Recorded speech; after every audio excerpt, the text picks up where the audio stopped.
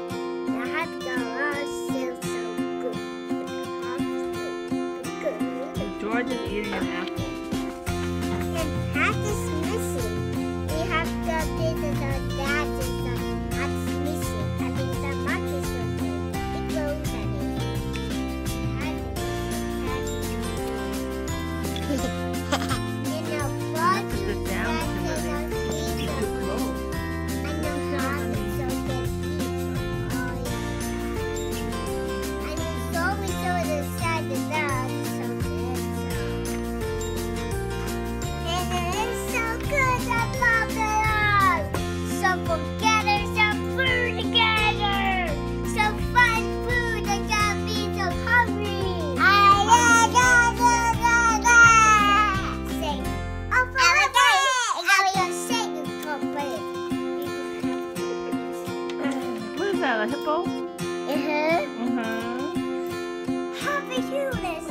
Too close. A piece of that. Oh, I'm just reading a book. You have to sit down and listen. It hard to get super. Hi, everybody.